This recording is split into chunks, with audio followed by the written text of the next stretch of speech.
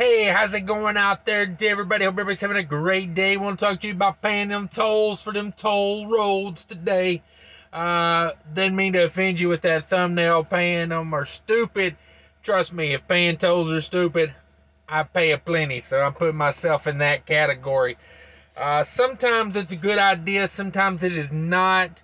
Uh, I'm going to try to give you a little strategy here, a little game on how I think about it, how I go about it. So, uh, I just got to looking. It is mid October 2021 right now, and I just looked my iPass account. I have paid six thousand five hundred eight dollars and forty cents in tolls this year. They've collected 403 tolls on me. And let me tell you, that is coming from a guy that goes around a lot of tolls. I dodge Indiana like every time I dodge Indiana on I 80. Uh, I'm just not a fan of I 80 through Indiana. I'm not going to pay 56, 53, whatever it is nowadays. Just not in for it. Just not in for it. I go around a lot of Pennsylvania tolls. Uh, instead of running 76, I'd rather jump up and run 80, you know, save that hundred and something dollars there. Uh, Ohio, I'm kind of in that ballpark too. I'll go around a lot of Ohio on 80, jump down, take US 30, but uh, I always dodge Indiana on uh, US 20. So that's my tolls. It's not calculating. Uh, I've got a K tag as well for uh, Texas, Oklahoma, and Kansas uh, tolls. So probably add another couple hundred onto that. I am paying a lot of tolls in this truck. So I go around when I can. When it's effective, I do. See, I don't just say dodge every toll because sometimes it's not effective. Um, you know, some of them like what you know, if you pay eight dollars to you know stay on the freeway for a couple hundred miles versus you know going around some two lane road for you know three hours, uh, I say pay the eight dollars and move on with your life. But uh, there are times when you can dodge them. Now, I want to tell you uh, the first advice I would give someone on tolls in a truck is get a transponder. Stopping and paying tolls or paying via your license plate is probably costing you more than if you just had a transponder connected to a credit card or a debit card. Um, I prefer iPass. I know a lot of people tell me, oh, get this one, get that one, you know. Um, so I have to have two um, you know, I've still got my Florida one here, but uh, I haven't thrown it away yet. Um, I'm I don't know, I'm attached. I'm emotionally attached to it or something, I guess, because technically uh, iPass pays most of those now that the SunPass would have paid.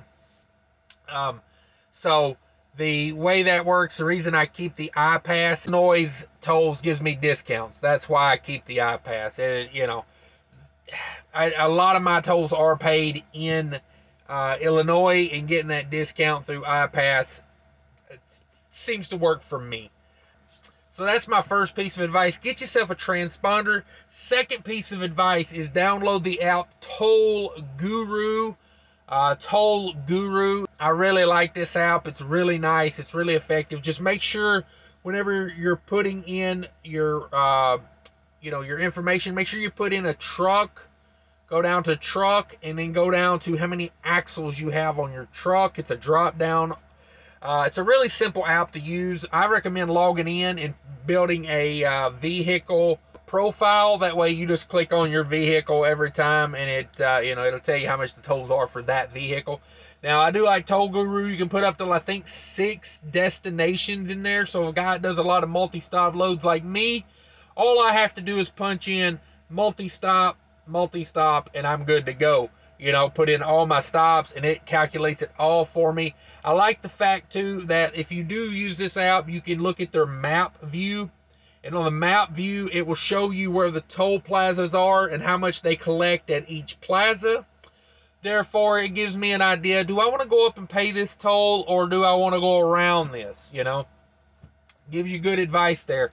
It's got a couple different options whenever you do a route. You can do the cheapest route and it'll even calculate in your fuel. You put in how much you pay per gallon for fuel on this trip, uh, your city gallons and your highway gallons, and it'll kind of calculate it for you.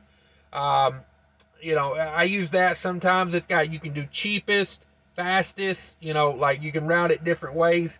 I really like this app. It is a convenient, free app that saves me lots of money.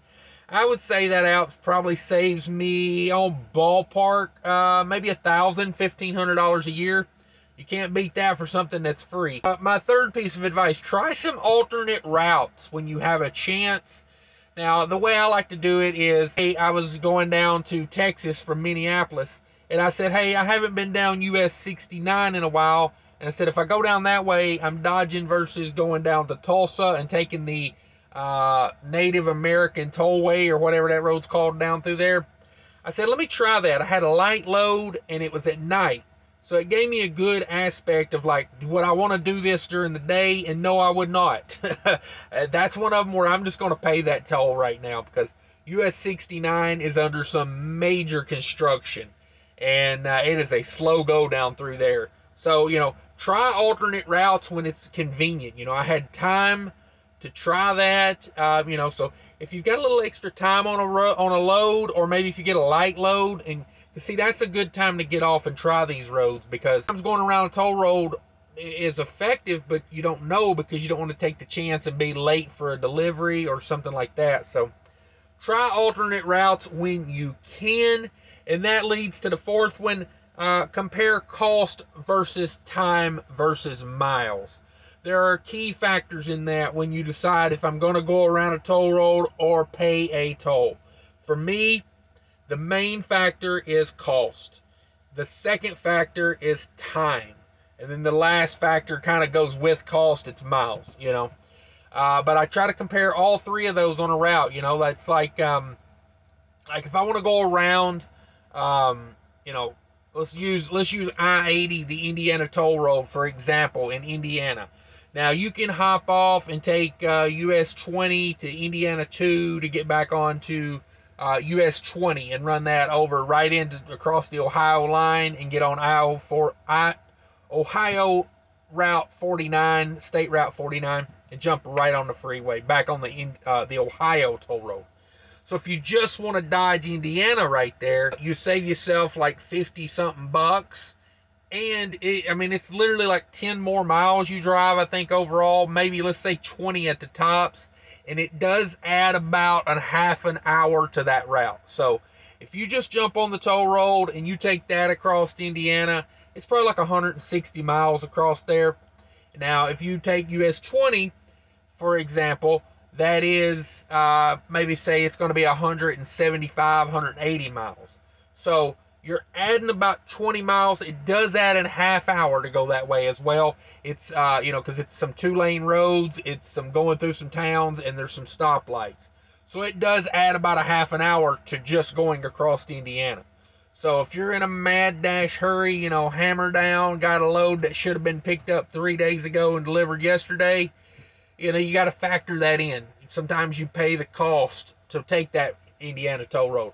But if I at all I've got a chance to go around something like that, I'm gonna pocket that 56 bucks. You know, for me, uh, you know, that's a good chunk of fuel on a route across there. You know, so uh, compare. You know, do your own research on this. That's my advice on tolls. You know, it's you know simple stuff. Simple stuff. Get the transponder uh, mainly is my thing because stopping and paying these tolls is costing you more because the, most of these transponders do give you a discount. And not to mention, when you stop the truck, you pay more to get it rolling again. And it just costs time. And another thing for me is, uh, uh, you know, can Indiana get with the program in Ohio? Get the rolling, you know, thing where I don't have to stop like these other states have, where I can just drive through. I mean, Come on, guys, get your stuff together, Ohio and Indiana. Pay enough tolls over there. You guys should be able to afford some overhead, uh, you know, drive-through transponders and whatnot. But uh, that's the video, guys. Thanks for watching. If you've made it this far, hit the like button if you could.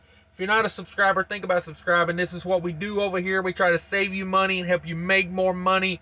And uh, that's what I like doing. So if everybody could hit that like button, subscribe if you're not a subscriber. Check out the description down below for lots of cool things Mudflap, my merch tent, uh, all kind of stuff down there.